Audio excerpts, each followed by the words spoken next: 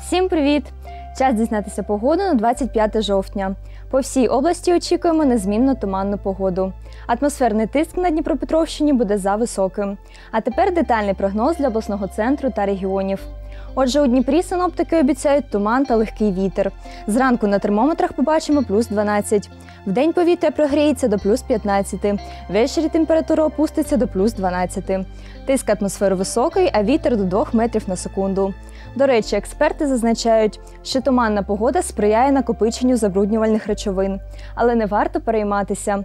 За даними останніх досліджень, високого рівня забруднення повітря в Україні не зафіксовано.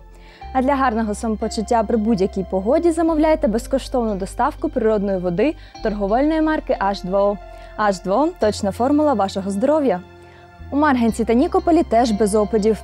Вдень синоптики обіцяють від плюс 14 вночі до плюс 12. Вітер до 2 метрів на секунду. Зранку очікуємо туман.